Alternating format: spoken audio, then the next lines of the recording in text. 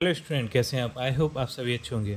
प्यारे बच्चों, आज हम करेंगे कक्षा छः के एडगेड अभ्यास पुस्तक के सामाजिक विज्ञान के अध्याय दो को। इस अध्याय का नाम है बच्चों, आखेट खाद संग्रह से भोजन उत्पादन तक। तो बच्चों, बिल्कुल भी देर न करते हुए चलते हैं इस पाठ के प्रश्नोत्तरों की ओर। इस पाठ का जो प्रश्न क्रमांक एक है, वो है आखेटक खाद संग्रहकों द्वारा उपयोग में लाए जाने वाले किस सामग्री के औज़ार बर्तन में भी पाए जाते हैं? तो ये पत्थर के। ठीक बी नंबर वाला हमारा ऑप्शन हमारा उत्तर हो जाएगा। प्रश्न क्रमांक दो है नवपाषाण युग में उखली और मूसल का उपयोग किन कार्यों में किया जाता था? तो इसका उत्तर हमारा बी वाला हो जाएगा, अनाज व वनस्पति को पीसने में। प्रश्न क्रमांक तीन है, पुरातत्वीय स्थल बुरजाहोम कहाँ पर स्थित है? तो ये कश्मीर में स्थित है, ये सी वाला हमारा उत्तर हो जाएगा। प्रश्न क्रमांक चार है, बसने की प्रक्रिया का आरंभ लगभग कितने वर्ष पहले हुआ? तो ये दस हज़ार वर्ष पहले हुआ था।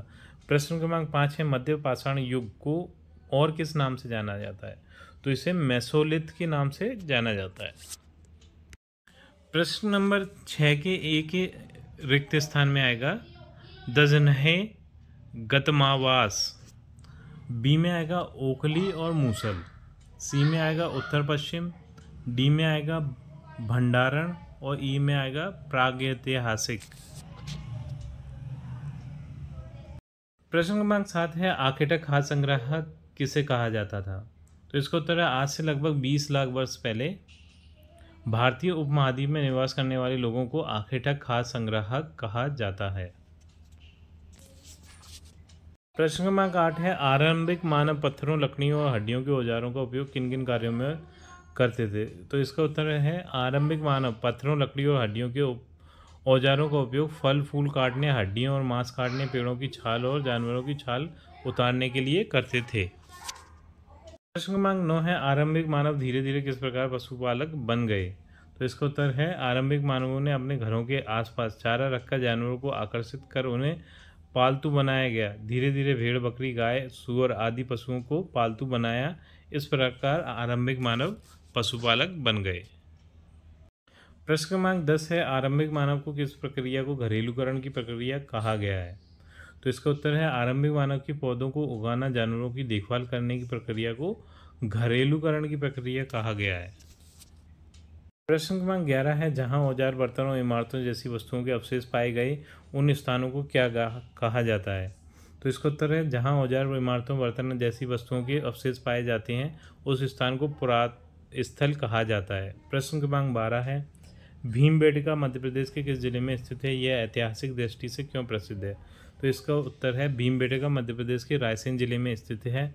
भीमबेटका में गुफाओं और कंदराएँ हैं। इन गुफाओं में सुंदर चित्र बने हैं। इन गुफाओं में सुंदर चित्र बने ये बच्चों दो बार हो गया है, इन गुफाओं में सुंदर चित्र बने हैं। तो एक ही बार कर लेना। इन गुफाओं में जंगली जानवरों की बड़ी सुंदर, बड़ी कुशलता से सजीव चित्रण किया गया है। प्रश्न क्रमांक तेरह है आखेटा खास संग्राहक। समुदाय के लोग एक जगह से दूसरी जगह पर क्यों घूमते रहते थे?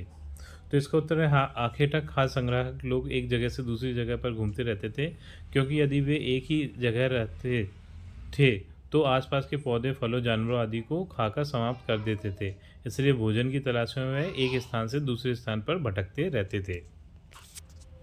प्रश्न क्रमांक चौदह है, नवपाषाण युग में मिट्टी के बर्तनों का उपयोग किस प्रकार किया जाता था? इसका उत्तर है, नवपाषाण युग में मिट्टी के बर्तनों का उपयोग इस प्रकार किया जाता था, जैसे वस्तुओं को रखने धीरे धीरे लोग इन बर्तनों का उपयोग खाना बनाने के लिए भी करने लगे। प्रश्न क्रमांक पंद्रह है, मेहरगढ़ के बारे में आठ से दस वाक्यों में विवरण लिखिए।